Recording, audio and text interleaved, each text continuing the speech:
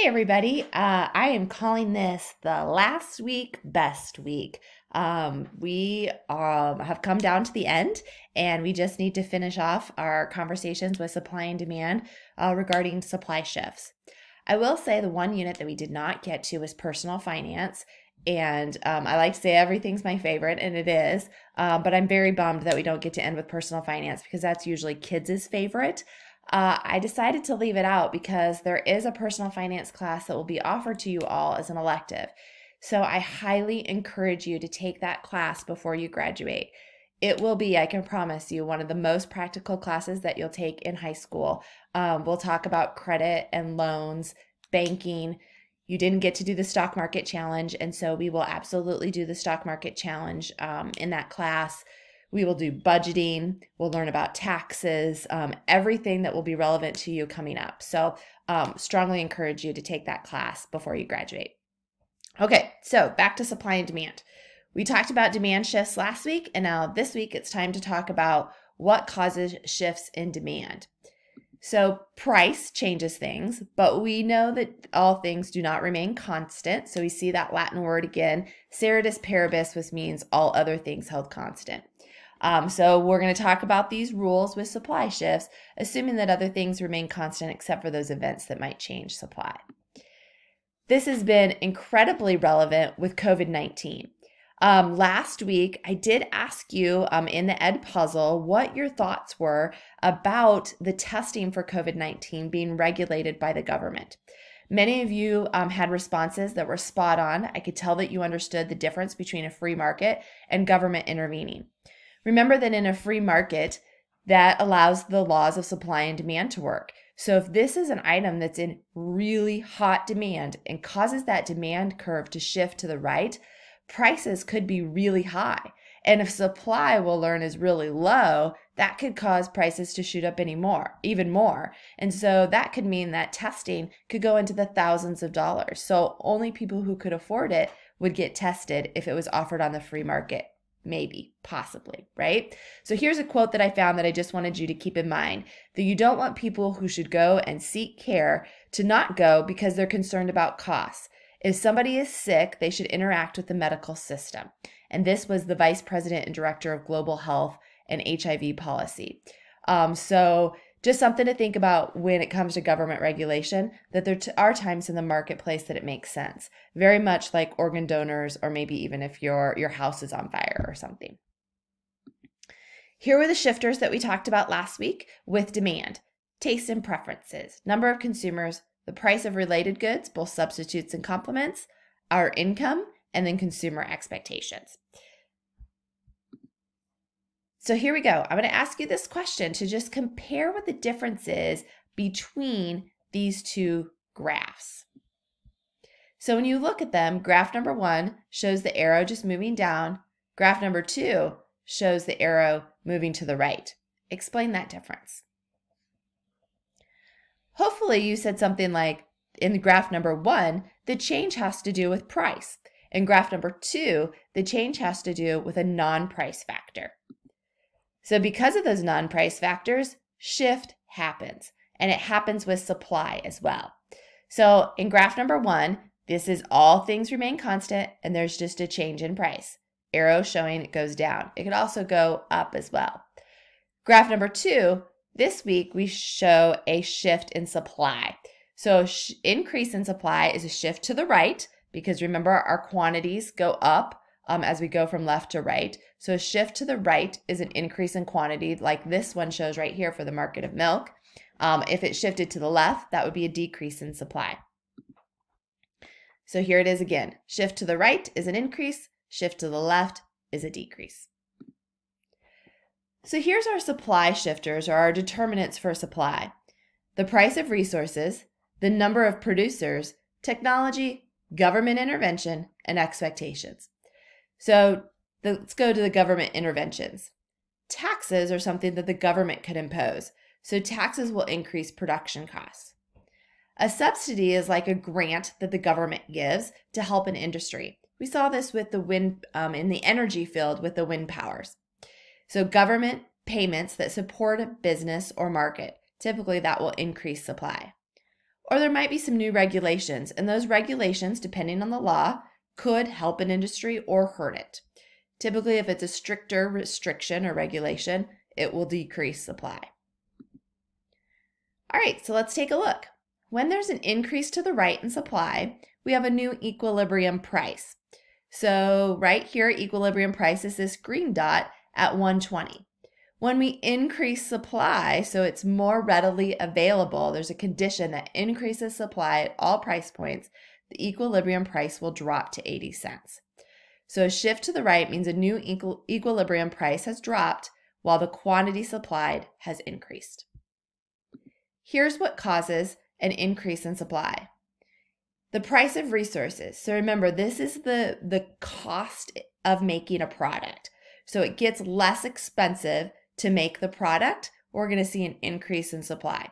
So perhaps I have um, t-shirts.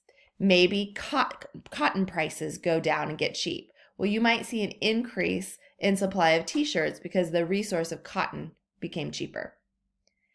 Next one is number of producers. More people are producing and making it. That will increase supply. Technology. As technology gets better and advances, we can produce goods and service or goods quicker, and so we might see an increase in supply. With government intervention, if taxes are decreased, we could see an increase in supply. Subsidies are provided, or some type of regulation makes it easier to produce that product. Now, expectations is a little bit different here. So, expectations is if I expect demand to increase, my supply might increase.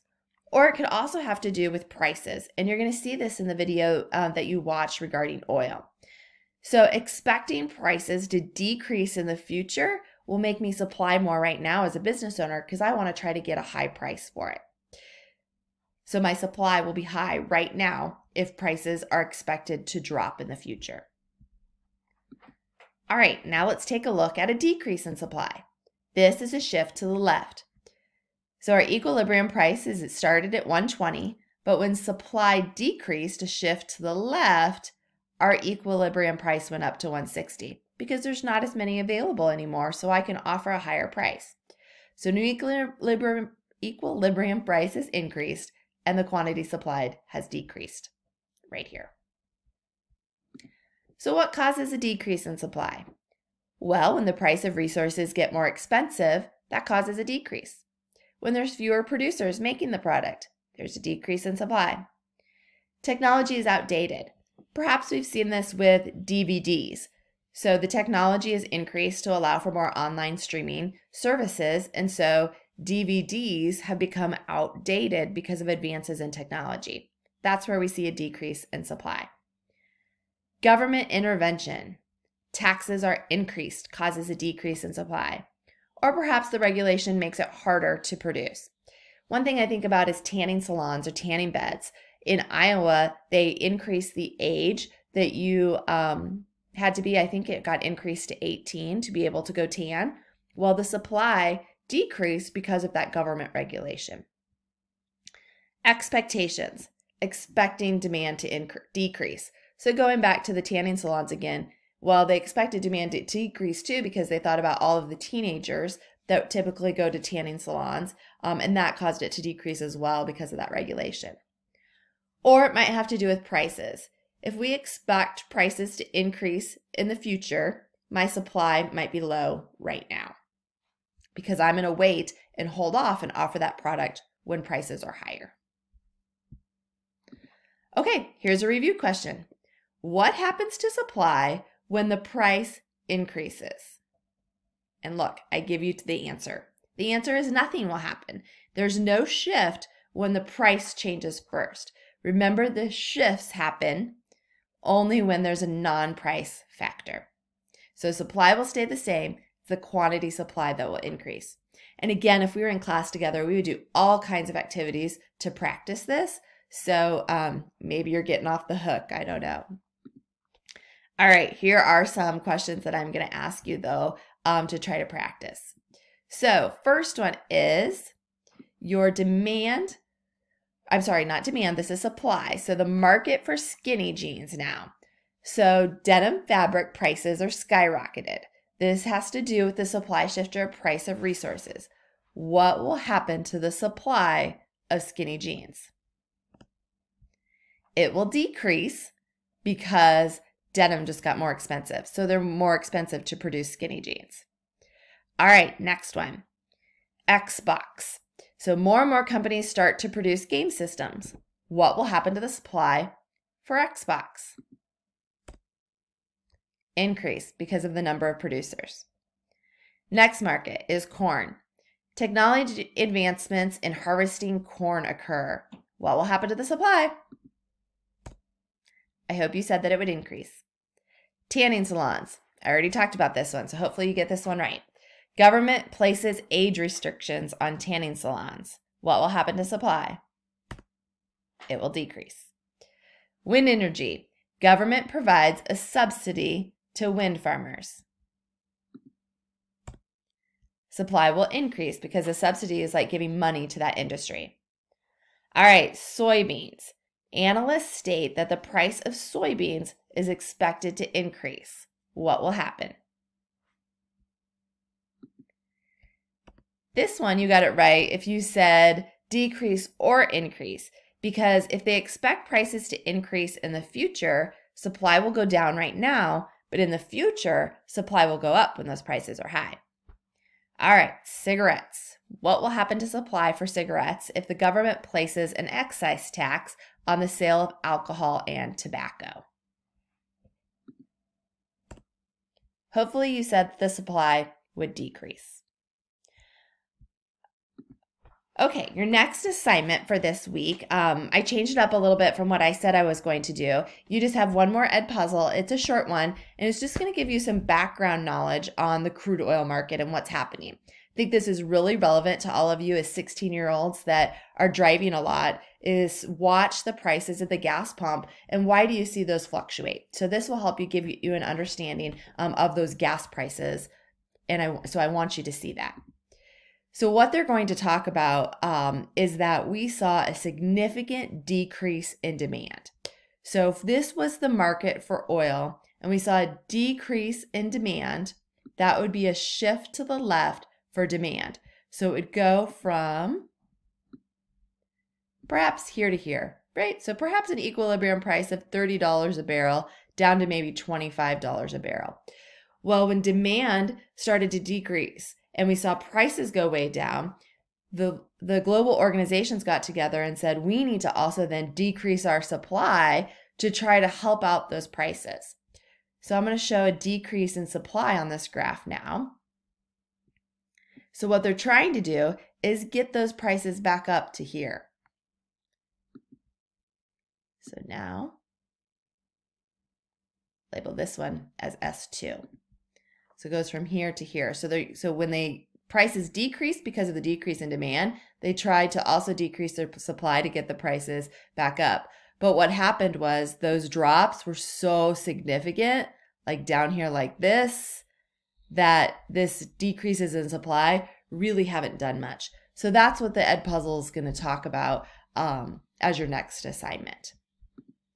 I already talked a little bit about personal finance, but again, want to encourage you to sign up for that course. And finally, I want to wish you all a wonderful summer, no matter what it looks like, and just reinforce that I, really miss seeing you all in class. Please know that you always have an advocate in me. And so stop in and say hi um, when I see you in the hallways in the fall, because I miss um, having a formal goodbye. Take care, Econ. We'll see you next time.